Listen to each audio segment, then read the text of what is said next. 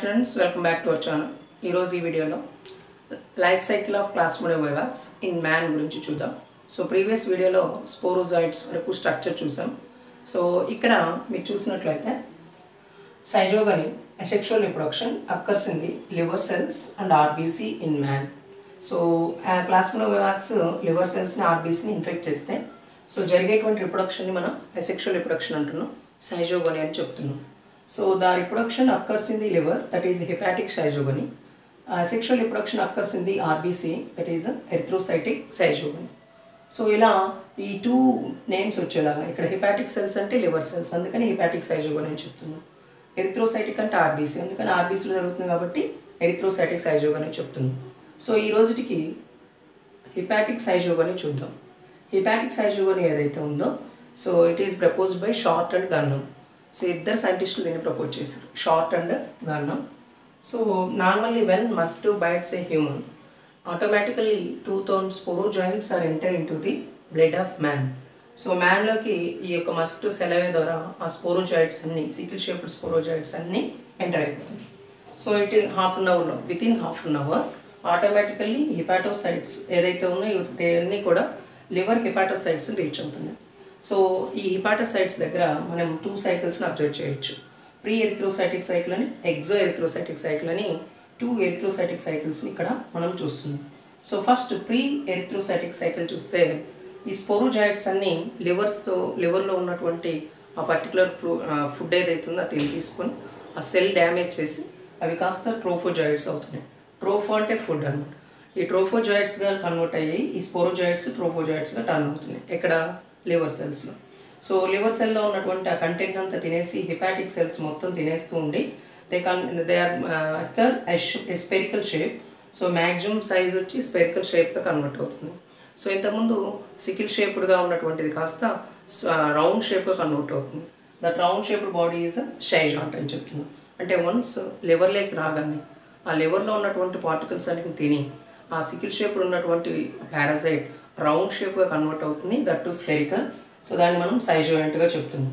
So nucleus mitotic divisions సైజోయింట్లో nucleus mitotic divisions జరిపి ఆ మైటటిక్ డివిజన్స్ ద్వారా it produces twelve thousand daughter individuals so these daughter individuals are cryptozoites. So also called as first generation merozoites so cryptozoites అని first generation merozoites అనేవి pre ఎరిథ్రోసైటికల్లో produce అవుతున్నాయి. So it it completes in eight days so rupturing the cell membrane so లివర్లో ఉన్నాయి కదా liver RBC ఏదైతే ఉందో liver ఏదైతే ఉందో హిపటోసైడ్స్ని బర్స్ చేసుకొని ఈ క్రిప్టోజాయిట్స్ అనేవి బయటకు వస్తుంది. సో టూ ఆప్షన్స్ ఉంటాయి ఈ ఎగ్జో ఎరిథ్రోసైటిక్ సైకిల్ అని ఎరిథ్రోసైటిక్ సైకిల్ అనేది జరుగుతుంది. Erythrocytic cycle okay it occurs in the RBC but exo erythrocytic cycle ఎలా జరుగుతుంది అనేది చూద్దాం చూ.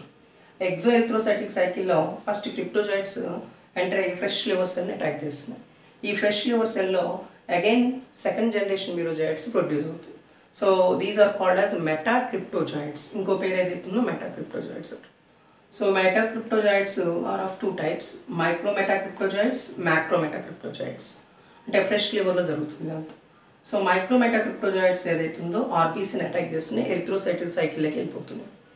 Macro meta cryptozoites fresh liver సెల్ని attack చేస్తున్నాయి.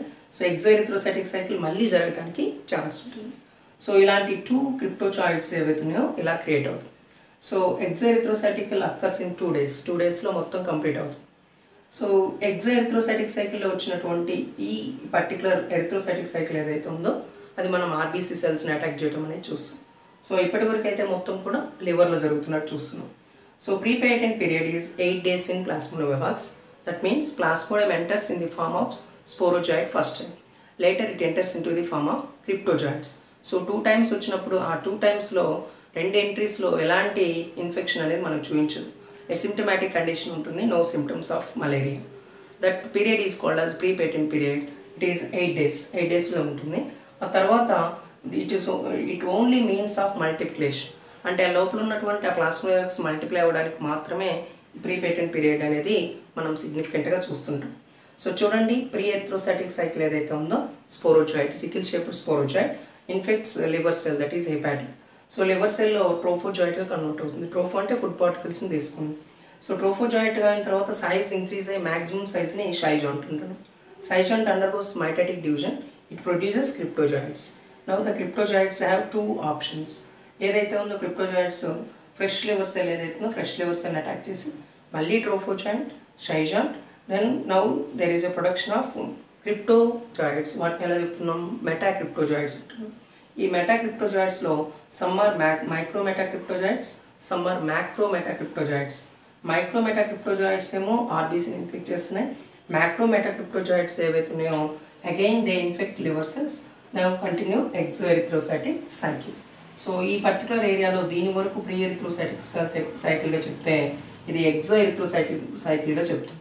So pre erythrocytic cycle exo erythrocytic cycle అనేది మ్యాన్లో జరిగి వాటిలో జరిగేటువంటి ప్రోసెస్ ఏదైతే ఉందో schizogony condition if it is in liver cells that is called as hepatic schizogony if it is in RBC that is called as erythrocytic schizogony so మనం hepatic schizogony వరకు చూసాం. It contains two stages one is pre erythrocytic cycle another one is exo erythrocytic cycle ఈ రెండు కూడా human beings లివర్స్లో conduct అవుతుంటాయి కాబట్టి వీటిని చూస్తాం. నెక్స్ట్ మనం ఎరిథ్రోసైటిక్ సైకిల్ చూద్దాం. ఎలా ఉంటుంది ఏంటి అని. Thank you for watching